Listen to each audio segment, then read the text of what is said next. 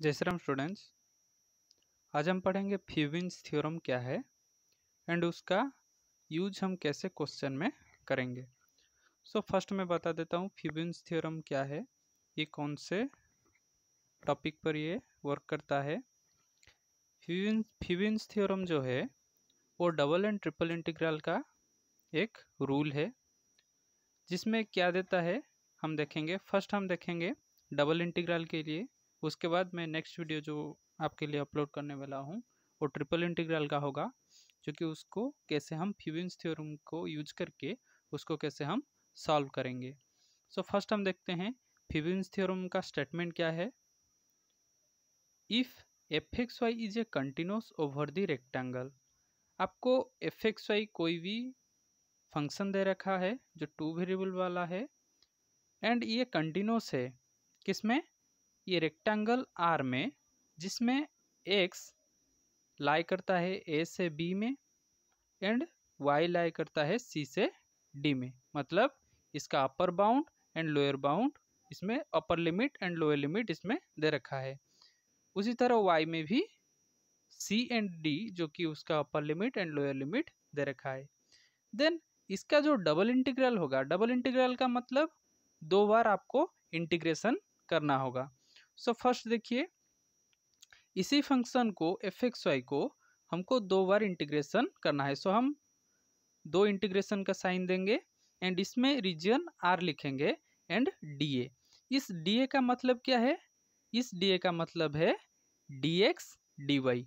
And ये जो reason are है, इसमें आपको लिखा जाएगा एक्स का upper bound, upper limit and lower limit, Y का upper limit and lower limit. इसमें देख सकते हैं, जब हम इसको पुट करेंगे, इस जो रेक्टेंगल है रेक्टेंगल का जो कि रीजन है, उसको जब हम पुट करेंगे, मान लो ए से बी ये कौन से वेरिएबल के लिए है? वाई वेरिएबल के लिए है डी वाई के लिए है सॉरी डी एक्स के लिए है एंड सी से डी आप देख सकते हैं एक्स जो रीजन है सॉरी एक्स जो वेरिएबल है उसमें upper limit and lower limit क्या है? ए एंड बी एंड उसमें वाई में सी एंड डी अगर आपको एफ़ एक्स वाई को with respect to D Y से इंटीग्रेट करना है देन आपको उसका लिमिट पुट करना पड़ेगा, जो कि सी से डी है। अगेन फ़र्स्ट आपको विथ रिस्पेक्ट टू वाई से करना है देन आपने पुट किया सी से डी इसका जो कि लिमिट है। Upper limit lower limit again आपको क्या करना है? डीएक्स से करना है। इसका इंटीग्रेशन को आपको अगेन डी से इंटीग्रेशन करना है। सो so, फिर से आपको क्या पुट करना पड़ेगा? एक्स का upper limit and lower limit ऐसे भी। अगर आपको ये थ्योरम बताता है कि अगर आप first with respect to Y से इंटीग्रेशन करते हो देन एक्स से करते हो इसका जो वैल्यू आएगा देन ये वैल्यू सेम आएगा अगर आप विथ रिस्पेक्ट टू एक्स से करके अगेन आप उसको विथ रिस्पेक्ट टू वाई से इंटीग्रेशन करते हो। मतलब आप जो जिस भी तरीके से आपको इंटीग्रेट करना है फ़र्स्ट वाई से करिए या एक्स से करिए देन ये दोनों का वैल्यू सेम आएगा वो डिफरेंट नहीं आएगा। सो so, एक क्वेश्चन से इसको हम समझेंगे। एंड इसमें नोट और एक दे रखा है ये जो Fubini's theorem applies only when A B C D are constant ये जो फ्यूविन्स थ्योरम ओनली एप्लीकेबल है किसमें? अगर ए बी जो सी डी है ये जो इसका upper limit and lower limit है ये अगर कंस्टेंट होता है देन ये एप्लीकेबल है। कौन से थ्योरम? फ्यूविन्स थ्योरम। हम इसको एग्ज़ाम्पल के हेल्प से इसको समझेंगे। सो so, एग्ज़ाम्पल क्या दे रखा है? आपको दे रखा है इवेल्युएट ये आपको डबल इंटीग्रल दे रखा है। इसी डबल इंटीग्रल क्वेश्चन आपको जो कि टू से थ्री मार्क वाला आपको एग्ज़ाम में पूछा जाएगा। तो इसको अच्छी तरह से समझ लेना। सो ये जो इंटीग्रल है, डबल इंटीग्रल है वेयर आर द रेक्टेंगल आपको आर दे रखा है, जिसमें एक्स का upper limit lower limit Y का भी अपर लिमिट लोअर लिमिट भी दे रखा है। आपको इसमें और एक दे रखा है, आपको यूजिंग एन इटरेटेड इंटीग्रल आपको इटरेटेड इंटीग्रल को यूज़ करना है। इटरेटेड इंटीग्रल क्या है? मैं इसमें बता दूँ, बता दूँगा। सो so, आपको फ़र्स्ट क्या करना है? इसी इंटीग्रल को लिखना है। जो इंटीग्रल दे रखा है जो फ़ंक्शन दे रखा है एक्स स्क्वायर वाई इसी फ़ंक्शन को लिखना है। फ़र्स्ट देखिए आपको मैंने इसमें यूजिंग फिविंस थ्योरम बताया है। अगर आप को किसी भी तरीके से इसमें कर सकते हो क्योंकि इसमें दे रखा है। इसमें ए बी क्या है? ए बी सी डी जो कि वन टू ज़ीरो वन ये सभी कंस्टेंट है। सो so इसमें फिविंस थ्योरम एप्लीकेबल है। देन आप उसमें विथ रिस्पेक्ट टू वाई से और एक्स से किसी भी तरीके से आप कर सकते हो। फ़र्स्ट वाई कीजिए देन एक्स और first X then Y so first हम क्या करेंगे? इसको लिखेंगे जो कि गिवन इंटीग्रल है। उसके बाद आपको क्या करना है? With respect with respect to Y से करना है। मान लो मैंने विथ रेस्पेक्ट टू वाई से किया। देन वाई का upper limit and lower limit क्या है? ज़ीरो से वन सो so, मैंने इसमें ज़ीरो से वन पुट किया। अगेन आपको मैं बता देता हूँ इटरेटेड इंटीग्रल क्या है? कि इटरेटेड इंटीग्रल है, इसमें दो इंटीग्रल दे रखा है। देन इटरेटेड इंटीग्रल ये है कि आपको फ़र्स्ट एक इंटीग्रल करना है विथ रिस्पेक्ट टू वाई से और विथ रिस्पेक्ट टू एक्स से।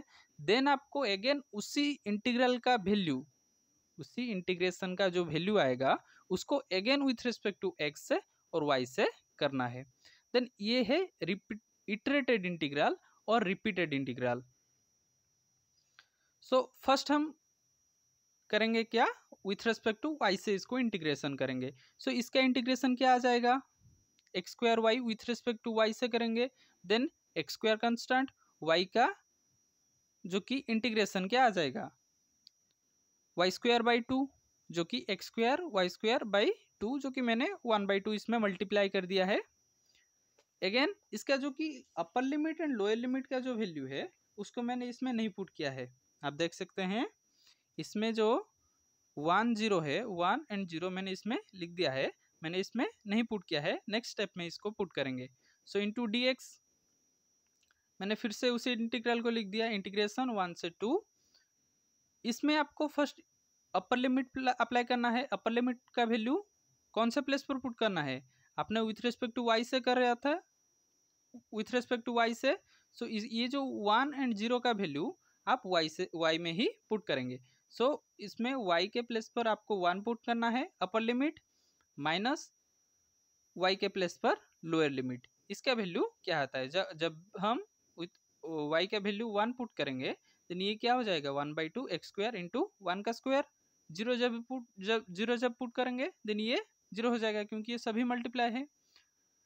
अगेन ये हो जाएगा इसका जो वैल्यू आ जाएगा one by two X square D X so ये देखिए फ़र्स्ट मैंने जो कि विथ रेस्पेक्ट टू वाई से किया था इंटीग्रेशन इसका वैल्यू आ गया one by two X square उसके बाद विथ रेस्पेक्ट टू एक्स से करेंगे। विथ रेस्पेक्ट टू एक्स से अगर इसको हम इंटीग्रेशन करेंगे देन इसमें एक्स स्क्वायर है देन ये क्या हो जाएगा इसका integration X cube by three क्या हो जाएगा? एक्स क्यू बाई थ्री आपका X to the power N का इंटीग्रेशन क्या है? X to the power N plus one divided by N plus one so ये हो जाएगा X X cube by three X cube by three ये है one one by two इसमें multiply होके है सो so ये हो जाएगा X cube by six and इसमें आपको upper limit and lower limit का वैल्यू पुट करना है. अपर लिमिट क्या है? टू है. सो so मैंने टू मल्टीप्लाई टू एक्स के प्लस पर पुट कर दिया, जो कि ये वैल्यू आ जाएगा eight by six minus lower limit का वैल्यू लोअर लिमिट का वैल्यू क्या हो जाएगा? X equal to one put करेंगे देन ये वन बाई सिक्स हो जाएगा. एंड अगेन इसको सॉल्व करेंगे देन इसका वैल्यू आ जाएगा सेवन बाई सिक्स अगेन और एक एग्ज़ाम्पल करेंगे। आपको सिंपली दे रखा है, आपको इवेल्यूट करना है, इसी इंटीग्रल को आपको गिवन फ़ंक्शन दे रखा है four D A double integration R four D A so इसमें आर आपका रीजन जो दे रखा है रेक्टेंगल रीजन दे रखा है ज़ीरो से टू आपका एक्स का लिमिट एंड वाई का लिमिट दे रखा है ज़ीरो से फोर देन आपको इसको इंटीग्रेट करना है। अगर आपको विथ रिस्पेक्ट टू वाई से करना है देन फ़र्स्ट आप विथ रिस्पेक्ट टू वाई से करिए। मैंने आपको किया, ये जो फोर है, ये आपका क्या है? एक कंस्टेंट है सो मैंने इसको बाहर निकाल दिया है। देन इसको अब सॉल्व करते हैं, किसको? इसी इंटीग्रल को आपको सॉल्व करना है। देखिए first with respect to Y से करेंगे। विथ रिस्पेक्ट टू वाई से जब भी करेंगे, इसमें वन है। वन का इंटीग्रेशन क्या हो जाएगा? विथ रिस्पेक्ट टू वाई से अगर करेंगे इसका वैल्यू आ जाएगा वाई सो वाई का ये आ जाएगा इसका इंटीग्रेशन सो वाई का upper limit and lower limit put करेंगे. अपर लिमिट या इसमें क्या है? फोर है.